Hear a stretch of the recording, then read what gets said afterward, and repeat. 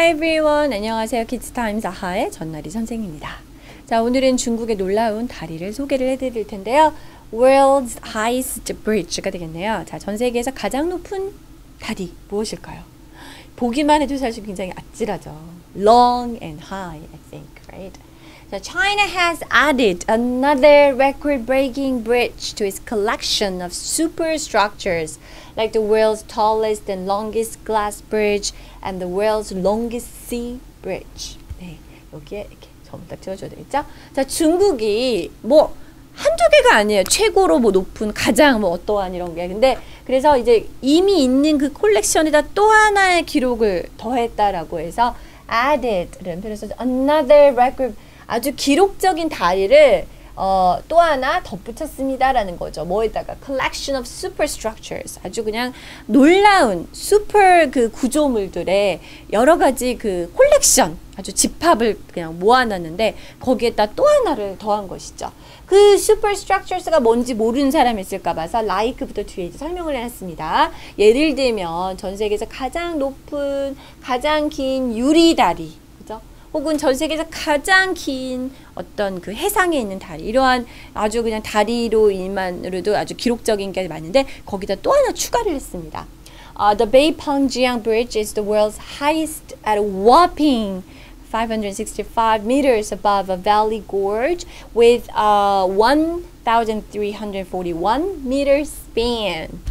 자, 일명 이제 베이팡지앙 다리라고 합니다. 전 세계에서 가장 높은 이제 다리를 기록을 세웠는데요. 이 와, 정말 어마어마한, 정말 입이 턱 벌어지는 565m의 그 높이, 상공이라는 거죠. 즉, 이거는 이제 above라는 거는, 어, 여기서 valley gorge라고 얘기를 했는데, 아까 우리가 앞에서도 봤듯이, 협곡이잖아요. 어마어마한 이 깊은 그 개, 어떤 뭐랄까요. 그런 어, 절벽 같은 그런 이 협곡의 이 지반이 있을 텐데 거기에서 높이를 재보면 565m의 상공에 이렇게 있다라는 것이죠. 길이로 말할 것 같으면 1341m의 폭을 이렇게 그 아니 그 길이를 갖고 있습니다. Construction took three years. 이 건축은 3년이 걸렸대요. And cost 1 billion yuan. yuan. 자, 10억 유안을 이제 어, 들었는데요. 어떤 데서는 144 million 어, 그 달러스라고 얘기를 하는데 1억 달러가 넘는 거죠. 1억 4천만 달러 정도에 이르는 어마어마한 돈이 들었습니다. Opened on December 29th. 12월 29일에 이제 개장이 되었는데요. The bridge connects two of China's most remote provinces, Guizhou and Yunnan.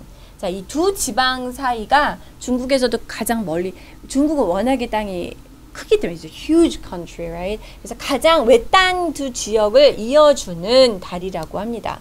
1000m가 넘는 길이를 오갈 수 있는. 근데 이걸로 인해서 이 두 지역을 이어줌으로써 여행 시간이 많이 단축되었다고 또 얘기를 들었습니다. 자, 그러면 관련된 문제를 한번 풀어볼까요?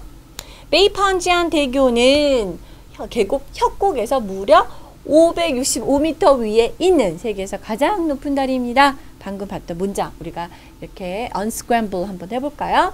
자, 베이펀지안 대교부터 시작을 해야 되겠죠? The Beipangjian Bridge 이는 이거 이제 주어 동사입니다. 자, 그 이다라는 부분이 굉장히 길죠. 세계에서 가장 높은 근데 어느 높이에 있냐라고 할 때 전치사 as 써줄 수가 있죠. 그래서 무려 어마어마한 엄청난 565m의 높이 어디에서 높인지 그 밑에 기준이 써야 되겠죠. 그래서 Valley Gorge라고 할 수가 있겠습니다. 건설에는 3년이 걸렸고요. 10억 위안의 돈이 들었습니다. Construction took 어떤 시간이 걸린다고 할 때 이렇게 take라는 동사를 쓰게 되죠. 기간을 써주면 3년이 걸렸다라는 표현이고요. 비용이 들었습니다. cost라는 거는 뒤에까지 돈을 쓰면 이 돈만큼이 돈이 들었다라는 표현인데 현재 과거 형태가 똑같죠. 그래서 10억 1 billion yuan 10억 유안이 들었습니다. 라는 문장으로 해석을 할 수가 있겠죠. 자 여기 보니까 어, 물한 잔이 있습니다. 이게 물인데요. 우리가 이렇게 물을 갖다 glass에 담으면 요거를 우리가 부를 때 a glass of water is on the table. That's right. 자, number B. Look at the red. 자, 뭐가 들어갈 수 있을까? 명사가 들어가야 되겠어. 빨간색 땡땡을 보아라. 라인데요. 그렇죠. 여기에서 들어갈 수 있는 거는 bridge가 되겠죠. 여러분 여기다 빨간색의 다리를 한번 그려보시면 되겠습니다. Okay, this is all for today. I'll see you next time. Bye bye.